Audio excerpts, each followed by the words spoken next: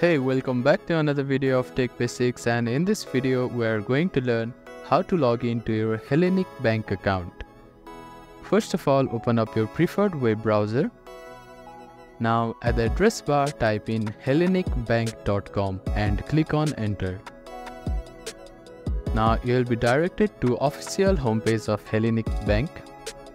You can allow all or reject all the cookies here now at the top right corner you can see a online banking option. Click on it and select which account you want to get logged in either it's personal account or a business account. After selecting that a login page will appear. Now type in your username and password. Then click on login button to log into your Hellenic bank account. You can also select the language here if you have forgotten your password, click on this link and follow the instructions to reset it. Thank you for watching this video. Please do not forget to give it a thumbs up and subscribe to our channel and comment down if you have any queries.